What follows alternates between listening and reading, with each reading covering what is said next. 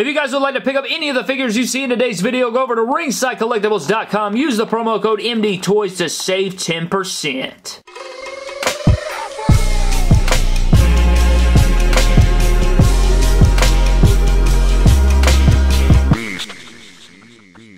What is good everybody? Welcome to an Epic My Damn Toys video. Today, ladies and gentlemen, we have three different Elite Series 76 2-in-1 reviews, and today we are taking a look, or this specific video, we're taking a look at the GOAT, the greatest of all time, John Cena and Braun Strowman here. Very excited for these figures. You guys know I've been waiting on my Elite Series 76, so I'm giving you all the reviews in one day. If you guys checked out the Heavy Machinery review, you're back for this one. If you missed that one, go check it out. And if you're checking out the rest of the figures in the wave, you want to see them ranked, definitely go check out the Christian and Lacey Evans review. But a huge shout out to Ringside Collectibles for sending these figures our way. If you want to pick up anything over there, MD Toys is your promo code. Go save some money, pick up some epic figures. But I am excited for these. I've been waiting on this Cena, and I've been waiting on a shirtless Strowman for a very long time, so I'm very excited to dive into that. But let's go ahead and dive into the review, guys. You got your front viewing packaging right there with the beautiful figures right there. On the right, you have a beautiful, like, photo. I think this is like a photoshopped image of John Cena. I'm not exactly sure.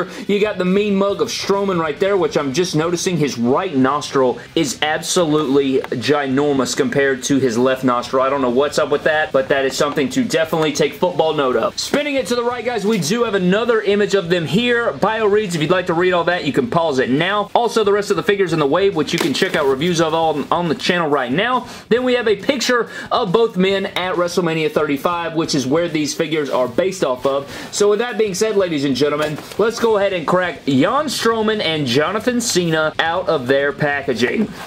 Alright guys, so here is the Doctor of Thuganomics and the Monster Among Men out of their packaging, looking pretty freaking swell, I might add. Looking at these guys side by side already, you can already tell that Braun Strowman is a literal mountain of a man. And he looks like a freaking ginormous freaking freak of nature. But anyways, guys, we're going to run through it. You guys know how we already do. We're going to run through one of their accessories and then take a closer look at one of them, and then we'll run it back and do the same exact thing for the other. In this case, we are going to start off with Braun Strowman's accessories and then cover Braun Strowman, and then we'll run it back and take a closer look at the GOAT's accessories and the GOAT himself. So with that being said, guys, let's dive into Braun Strowman's accessories. So as far as Braun Strowman's accessories goes, guys, we do have two pairs of interchangeable hands. Out of the packaging, he comes with mic holding hands, and then he has the interchangeable choke slamming hands, which I don't really care for, but there are those.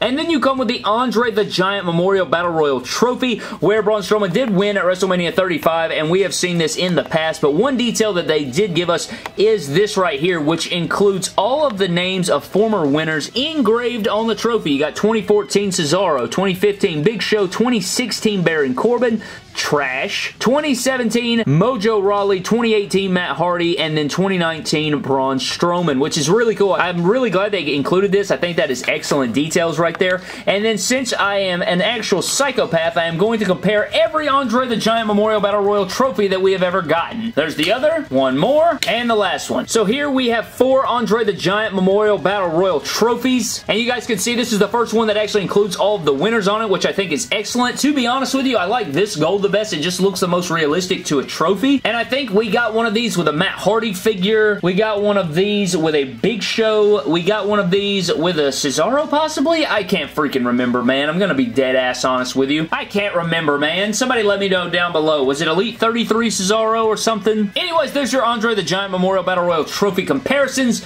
and that does it for Braun Strowman's accessories. So take a closer look at Braun Strowman himself, guys. Let's get a good zoom-in shot on this head sculpt because I think this is a really strong head sculpt. I am really feeling the way this thing looks. I love the mean mug we got going on with Braun Strowman. I think this is his best head sculpt to date. I love how pissed off he looks. It looks great. The beard color looks great. The sculpt looks great. I think overall they did a really great job on this Braun Strowman head sculpt. The true effects is there. The ponytail is there. And we will get into some comparisons. But I think the biggest thing with this Braun Strowman that we're all going to be talking about is the shirtless torso mold that we got going on. This brand new torso mold that looks really, really good. I love the way it looks. He is a gigantic man, but he does, he's pretty ripped up. He's pretty lean, and I think they capture it. You know, he looks great here with his abs. He's got a big old torso. He's got a great chest on him. The ab crunch is tight, so you don't have to worry about the loosiness. The waist is also tight. He's got all of his tattoos going on. The powerlifting tattoo right there, because I think he competed in World's Strongest Man. All of his tattoos going going around, you of course do have to leave off the Superman tag because of copyright. You got the back neck tattoo or the top of the back tattoo right there. One thing I am bummed about is they did leave off the belt buckle and belt details. I'll probably do that on Action Figure Surgery. We'll paint the belt black and add in the silver dry brushing over the belt buckle to really complete the figure. I think that'll make it look a lot better.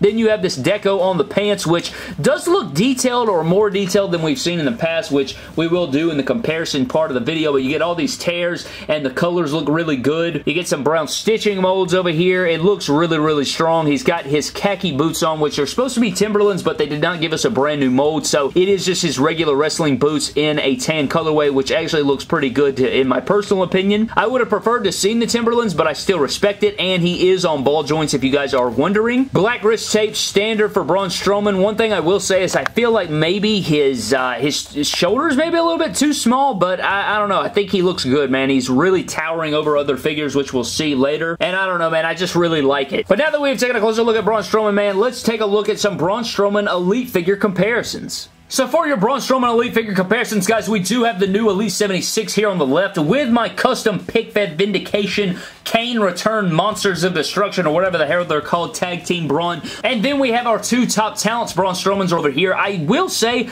I think I like the dry brushing on the top talents right here, the way it looks better than what we got here with this kind of like flat blackish look going on. And then over here, it does look a lot better than this flat brown. So I think this one got it right with the beard. But if you guys can see what I'm talking about with the belt and the belt buckle right there and then the pants deco, it is a lot better over here. It's just got more details and stuff, but this has the belt, so uh, sucked in saliva. But then you guys can see the difference in the boots and stuff like that. I think I like the, all, the solid tan over the green and brown. What do you guys think? But overall, I think for sure that this has the better head sculpt. I just love the way it looks. And then if you want to take a look at this right here, you can see that this is the black boots and then the tan. And that pretty much does it for your Braun Strowman Elite figure comparisons. The only one I do not have to compare is the Elite 44, which I did sell a while back, but I do want to track that down to add to the Braun Strowman collection. So getting into the GOATS accessories, guys, you did get a little bit of stuff here. You get interchangeable hands out of the packaging. John Cena does come with mic holding hands, and then he has the You Can't See Me hands,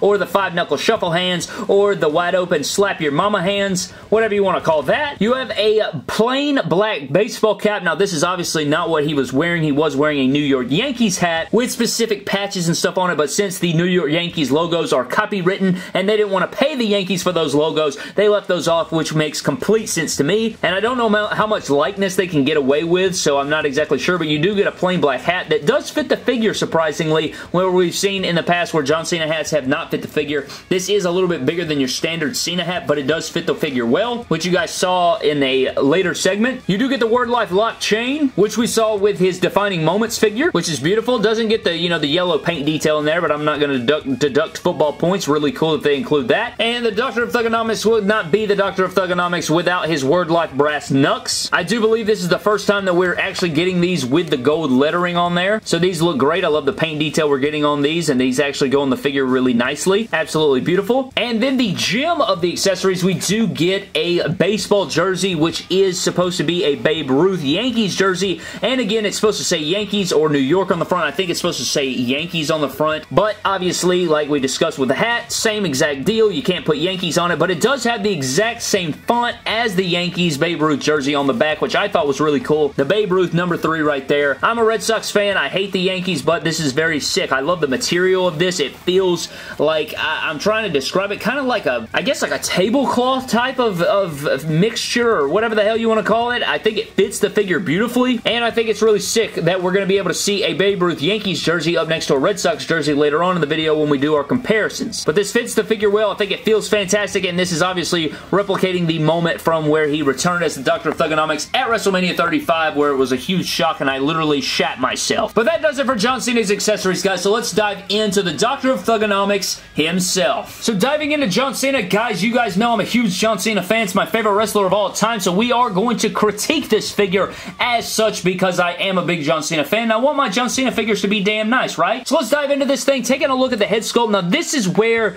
the figure kind of loses me a little bit because it's kind of like the face scan is a, supposed to be a younger Cena, but this is obviously where he returned at WrestleMania 35, which would be in his older state, and the haircut is a little bit off. It's not really the haircut, you know, the haircut kind of fits the theme. It's kind of like it's pressed down under a hat, which I think is really cool. I think it's the hair color that's really throwing me off. I think it has too much of a brownish, lightish brown, lightish red tone to it that I'm not really feeling, but I love the likeness. I think the likeness does capture it well, especially for a young Cena. If you were going to take this head sculpt, put it on a younger John Cena for a cool fix-up or something like that, I think that would totally work. In my own personal opinion, I'm probably going to edit this head sculpt a little bit, probably shave off some sides or something, maybe sculpt something up. I'm not exactly sure yet. I'm still toying with it in my mind, what I want to do exactly, but there is some tooling and stuff I want to do with this, unless I'm just going to keep it as a return John Cena for the Doctor of Thuganomics at that specific event for that moment at WrestleMania 35. Now, one thing I am going to do is I am going to make his Super Showdown attire where return in the navy, red, and black attire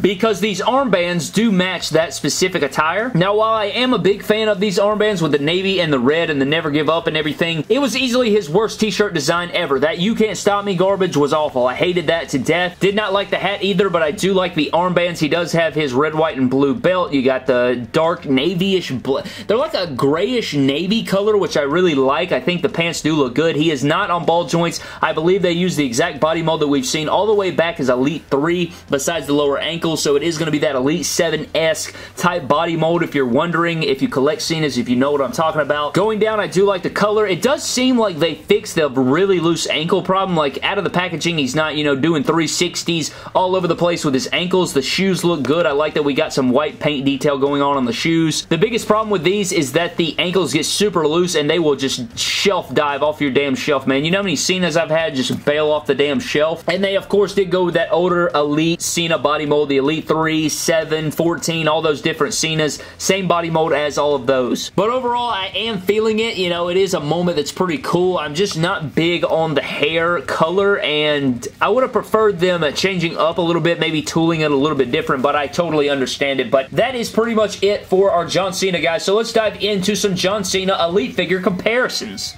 So for your John Cena Elite figure comparisons, guys, you do have the Elite 76 here in the middle, and here is my pick-fed MDT Live John Cena, where he returned as the Doctor of Thuganomics at Hell's Gate, and you guys can see the contrast between the uh, Babe Ruth Yankees jersey and then my Manny Ramirez Red Sox jersey. This is pretty much the defining moments John Cena figure, which I said is the exact same body mode. You have similar style shoes. Uh, you can see the Word Life gauntlets. Of course, he does have the Word Life wristbands because John Cena wore his current wristbands at that WrestleMania event. And then he does have a custom chain gang chain, but this is sort of what we're dealing with here as far as comparisons. And then the rest, you do have the Elite, is this the Elite 71 John Cena? And then you have the Elite 3, which is the same body mold, and then you have another WrestleMania fix-up John Cena over here, or Elite 34. So you guys can just kind of see what I'm talking about here. It's like a just John Cena face, which I can't appreciate, but it kind of looks like he's younger, but it's kind of like, I, I don't know exactly how to describe it. Let me know what you think of this John Cena down in the comment section below. But that does it for your John Cena Elite figure comparisons. One thing I want to show you guys before we get out of here is I did want to showcase the ab crunch if I did not show it off. This is about how much you get out of that and then that is how far it goes back. So if you guys wanted to know, that is about what you get out of the ab crunch out of this new Braun Strowman. But also if you wanted to know what the Blue Universal Championship looks like on this guy, if you guys have a Universal Championship, there is what it looks like. And I gotta say, it actually looks pretty badassery with the shirtless mode. I think that's pretty freaking fantastic farticles if you ask me. But anyways guys, that is going to do it for the 2-in-1 Elite 76 Braun Strowman and John Cena figure review. I hope you guys did enjoy. Again, if you missed the Heavy Machinery review or the ranking of Elite Series 76 along with the Christian and Lacey Evans reviews, definitely go check those out. I would greatly appreciate it. As far as recommendations, guys, I would say that the John Cena is not a must-buy, but this is probably my favorite Braun Strowman to date. I love the shirtless mold. I know we're getting the Top Talents figure that's coming soon, which is the exact same figure, except it does have a. Uh, I think the head sculpt is different. I think it has the Screaming head sculpt, possibly, and then it also comes with a uh, removable t-shirt, which is pretty cool. But I would highly recommend both figures if you really want them. Now, I would say that I would prefer the Braun Strowman, I think, over the John Cena if you're looking to purchase one of them. But I'm a John Cena guy, so you guys know I'm going to be purchasing all of those. But if you'd like to pick up any of the figures you saw in today's video, guys, go over to Ringside Collectibles, use promo code MD Toys to save yourselves 10%. Go check out the other reviews on these figures of Elite Series 76. Check out our ranking. Follow me on Instagram and Twitter at MyDamnToys, and I will see you guys in the next video. Thank you.